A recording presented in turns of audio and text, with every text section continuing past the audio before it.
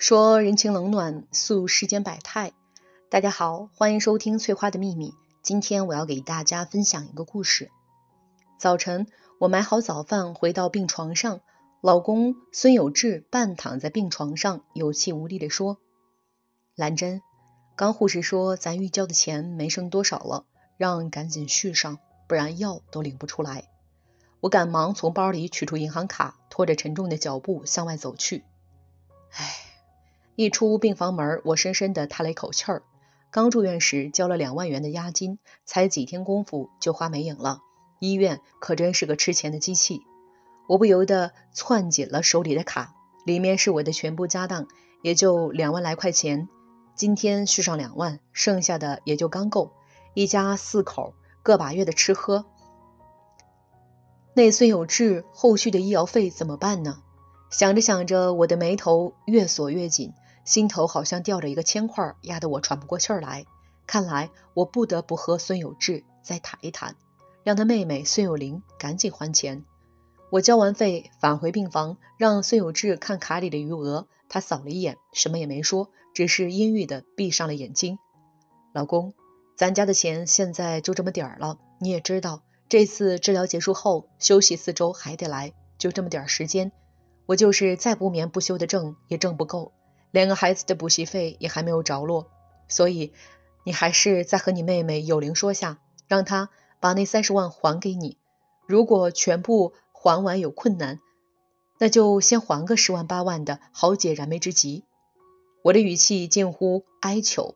孙有志睁开眼睛，思索了一会儿，开口道：“兰珍，有玲家的难处你不是不知道，我就这么一个妹妹，我不好逼她这么紧。那你说这医药费怎么办？”我是真没辙了，我强压着心里的气。我其实这两天也在合计这事儿呢。要不我们把现在住的房子卖了吧，搬回小房子住，这样我的医药费肯定够了，俩闺女念大学的费用也不必发愁。你觉得呢？孙有志握住了我的手。什么？卖房？你为什么不让孙有玲卖她的房？我的心猛然一紧，松开孙有志的手。孙有志却摆出一副可怜巴巴的模样。说自己妹妹就那一套房子，如果卖掉，一大家子就无家可归了。这样的事情，他若是狠心做下，实在没脸去见地下的父母。我真的是气不打一处来，盯着孙有志的眼睛说：“如果你非要卖房，那就把小房子卖了。家里是四口人，而小房子只有两室一厅。你女儿孙萌又不愿意跟甜甜住一屋，难道让甜甜继续睡阳台？”兰珍。我前妻去世时千叮咛万嘱咐，让我一定把那房子留给孙萌，我怎么能食言呢？房子再小也挤不死人，我跟孙萌好好说说，让他跟甜甜住一屋。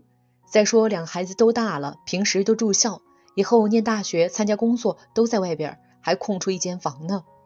孙有志继续苦口婆心地劝我：“孙有志，我跟你结婚十年了吧？我对你和孙萌如何，你自己心里是清楚的，可你为什么要这样欺负我呢？”明明自己有钱，不肯去找孙有龄要回来；明明有套闲置的老破小不卖，非要卖我千辛万苦挣来的三居室。我真的不明白你心里到底是怎样想的。我的眼泪忍不住夺眶而出。你怎么能说我欺负你呢？我是在全盘考虑，那小房子啊，卖不了几个钱，估计啊也就够看我病。那俩女儿读书怎么办？孙有志振振有词。难道？借给你妹妹的钱，这辈子就不要了。他若是想办法还我，还能不够？我质问道。这没说不要他还，只是孙有志结巴了起来。孙有志要卖房，你就卖小房子；想卖大房子，我绝不同意。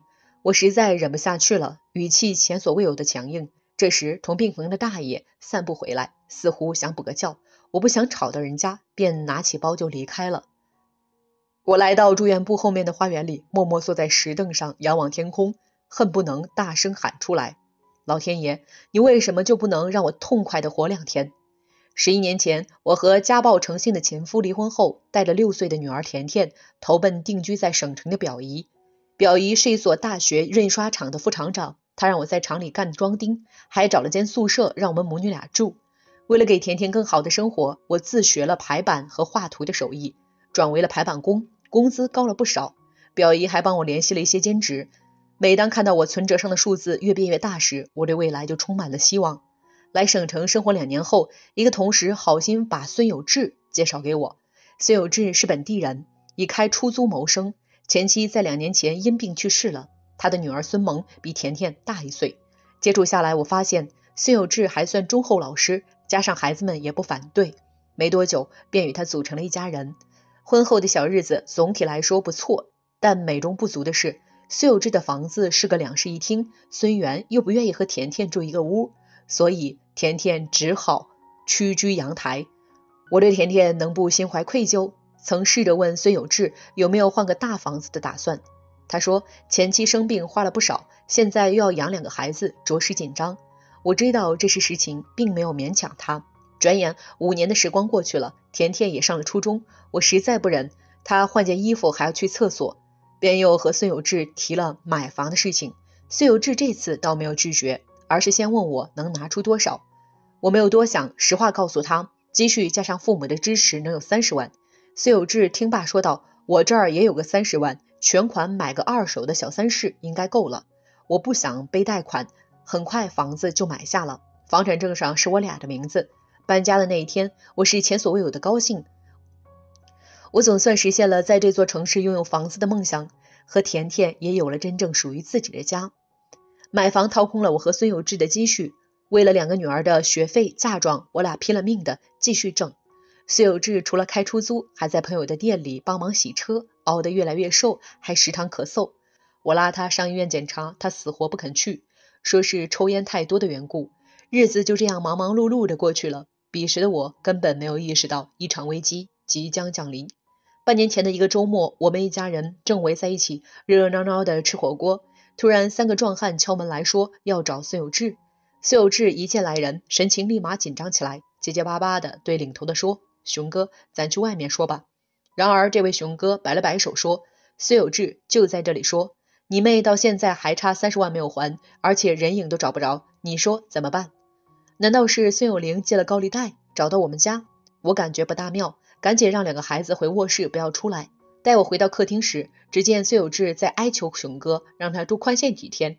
我受不了孙有志这低三下四的模样，便对熊哥说：“俗话说冤有头债有主，这钱是孙有玲欠下的，为啥上我家来要？”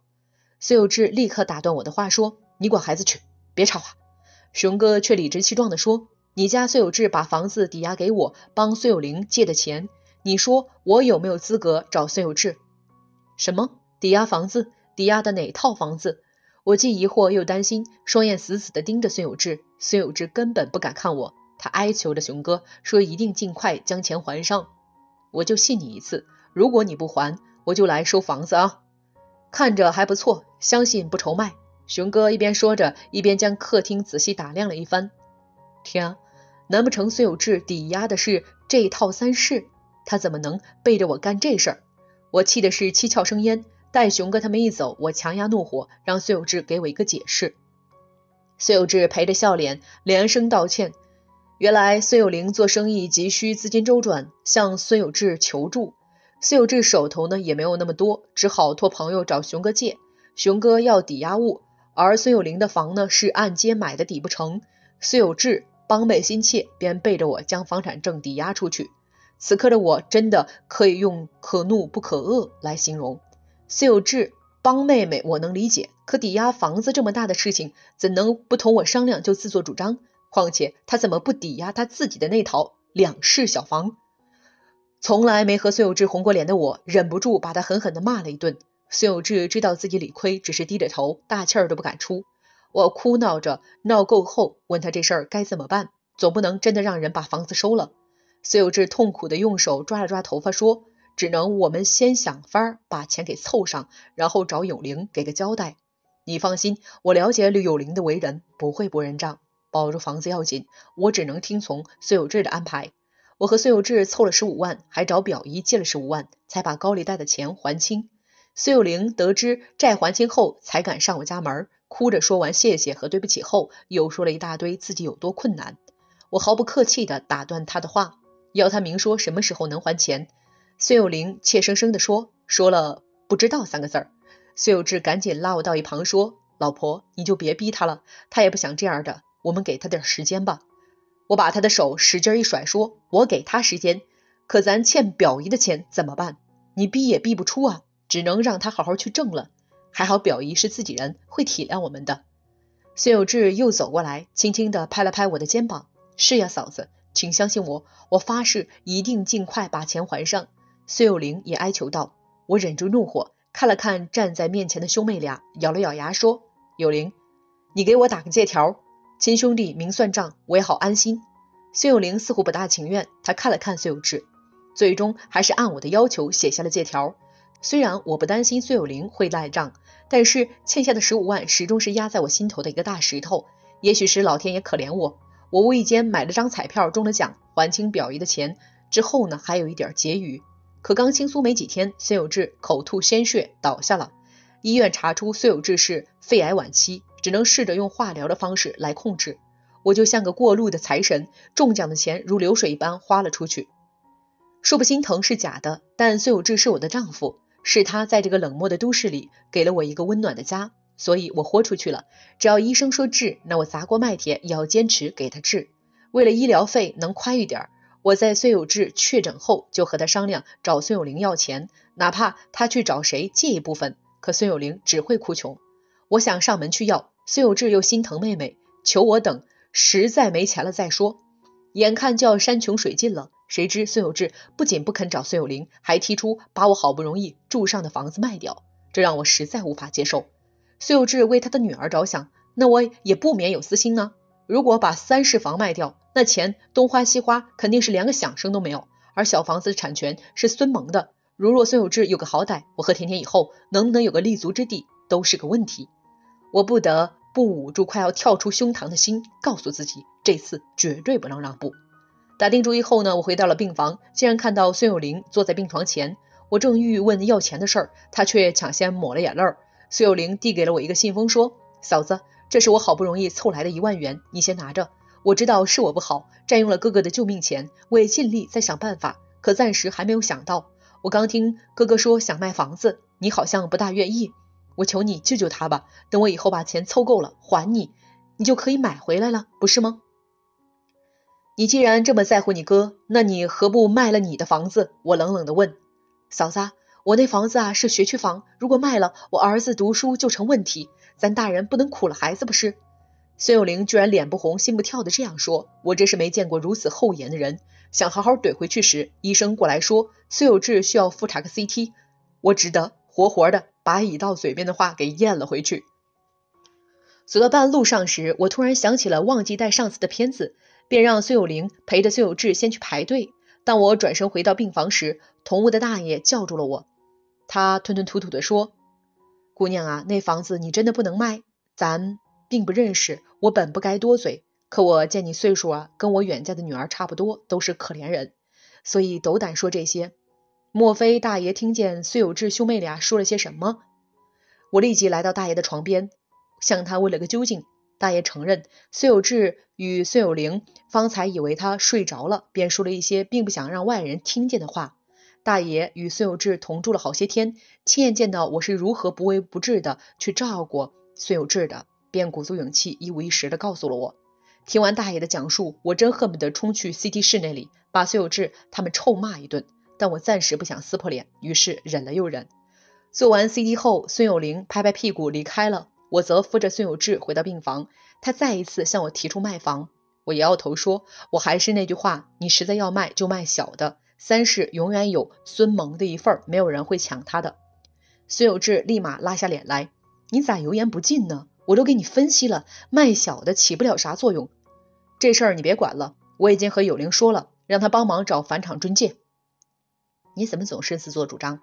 上次抵押房子这样，这次卖房子又这样，你根本就没有尊重过我。算了，如果你坚持要卖房子，那我们就离婚吧。离婚？我现在这样，你居然提离婚？”真是夫妻本是同林鸟，大难临头各自飞。好，离婚就离婚。孙有志居然倒打一耙，我颤抖着声音说：“行，卖房子一人一半。你妹孙有玲欠的那三十万，若要回来了，也一人一半。你现在让你妹妹来伺候吧，我要回去收拾行李了。”我拿上自己的包，毫不犹豫的离去了。转身的那一刹那，泪流满面。我哭，我真心以对的丈夫给我布了好大的一个局。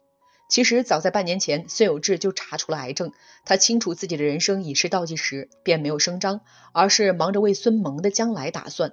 孙有志想为孙萌多留点钱，而他手边唯一能变现的就是那套三室的房子。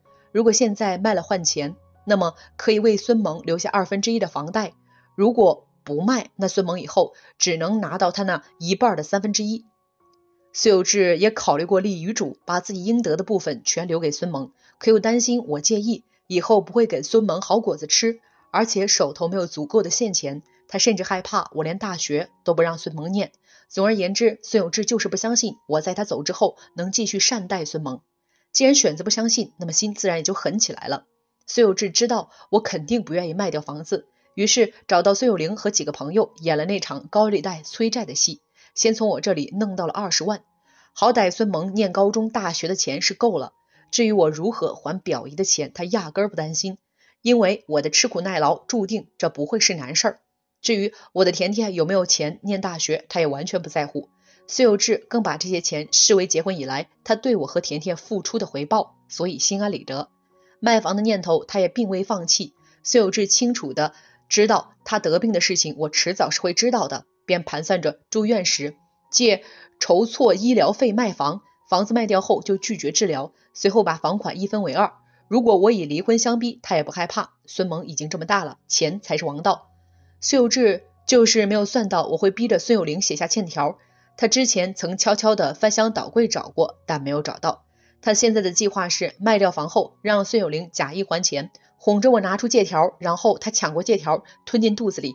我总不能活活剥开了他的肚子来找。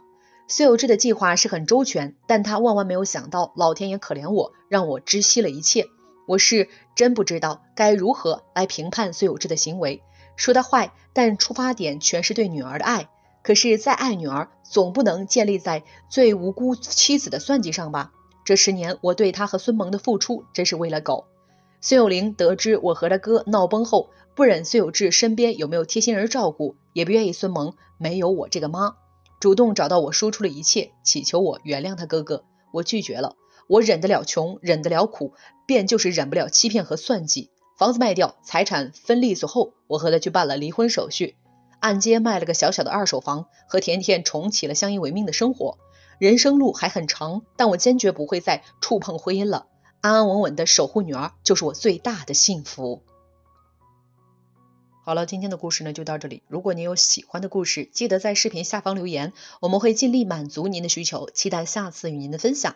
最后想跟大家说，现在翠花呢已经正式开通了 Facebook，点击说明里的链接关注就可以私信给我了。翠花非常期待与大家的互动，在这里你永远不会孤单。